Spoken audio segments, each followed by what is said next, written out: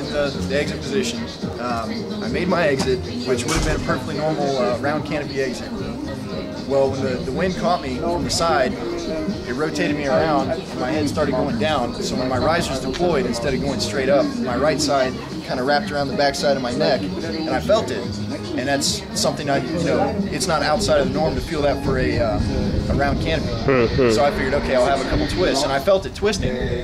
So I thought, okay, I've got a couple twists I need to clear, no big deal. Well, um, as soon as I, what I thought was the parachute fully deploying happened, um, I kind of looked up and I, you know, felt the, the riser in the back of my head. So I thought, okay, well, there's the twist. And I kind of looked up and I could see the uh, the canopy, you know, folded up, but you know, lined over, just like in the video they showed us.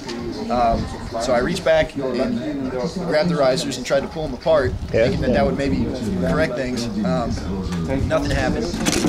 I looked straight down at the ground, and this is when I really realized that I was spinning Okay. because I could see the cornfield rotating around. Okay. Right. Yeah, yeah. yeah, yeah. Um, so I, So you didn't have much sensation of, of actually spinning around until you saw the ground to orientate yourself. I could, I could, vaguely in the back of my mind, I think I realized I was spinning, but that Right. wasn't in the forefront. Right, yeah, to think yeah. about. Um, when I looked down, I could definitely see that I was spinning. That's where it really, you know, caught my attention. Hey, you're spinning. Yeah. You, you've got a line over. This is exactly what they talked about in Mm-hmm. the emergency procedures. So I stopped for a second, and uh, I could see, okay, you know, I've got plenty of altitude. And I just thought for, for a split second, it went through my mind, if I cut away, the rigger's going to be really pissed off because they're going to have to go get that chute. yeah, yeah. Uh, so, you know, I stopped the thought for a second. I looked back up at it, and it was the exact same condition it was a few seconds earlier. And I thought, nah, that's, that's not good. I need to go ahead and do it. Yeah, yeah. So, you know, I did the exact exact procedure that they showed us, um, slow and deliberate. Looked, grabbed, looked, pull, and by the time I grabbed my reserve handle, I could feel it beginning to deploy. Yeah, yeah, I yeah. Said, you know, whatever, do it anyways. Pulled it, felt the canopy open up. So I you know, looked up, grabbed the, uh, the toggles, and um, I remember the, uh, the reserve canopy. Yeah. Um, it was also. Uh, I don't know if it was a, a true ram-air. It looked like it. I mean, it had cells, but it looked like there was no bottoms to them. Yeah, yeah. And it handled differently. The, uh, I mean, it's obviously smaller than the main. Yeah. And it just looked a little different. Um, so, anyways, I flared, and it didn't feel the same way as when you flare with the, the regular canopies.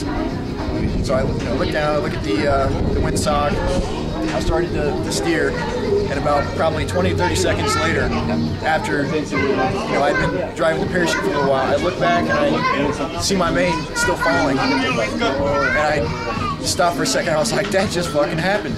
And then I, you know, for a second there, I was, like, I'm alive! yeah, yeah, exactly. That's that's when my heart started beating a little bit, and I continued to drive the chute. I hit the ground, and at that point, I was, you know, you saw me. I was pretty much ecstatic. But, uh, uh, Can I do that again? I think we Yeah, yeah, yeah, yeah, and As soon as I hit the ground, I said, "Can I go do it again?" Yeah, yeah, yeah, yeah. But uh, But um, the the sensation of when the the um, your main canopy when you'd cut it away, uh, you felt that you were free falling again. You you felt that you were free falling. probably Second. Uh, yeah, just uh, it, it could have been anywhere from a split second to two seconds. Right. Um, it didn't feel like much, but I definitely felt it because when it popped away, Yeah, I yeah. definitely felt my, my velocity increase. And you know, of course, I was still looking at my reserve handle, and I could see as soon as it cut away, just in the background, I could see the ground start to rotate in different directions. Right, right. So I knew I was free. Yeah. By the time I grabbed my uh, reserve handle.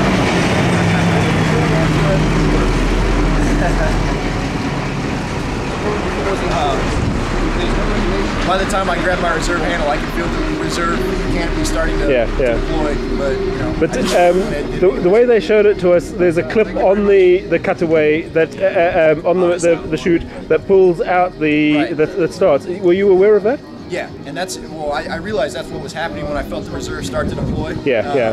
And uh, it, it basically it automatically did probably about a second after I cut away. That's when it automatically started to deploy because of that automatic Yeah, opening yeah. device. Um, but you know, just of course still just thinking procedure in my mind. I went ahead and Yeah, yeah, yeah. as yeah. But it was uh, quite a ride.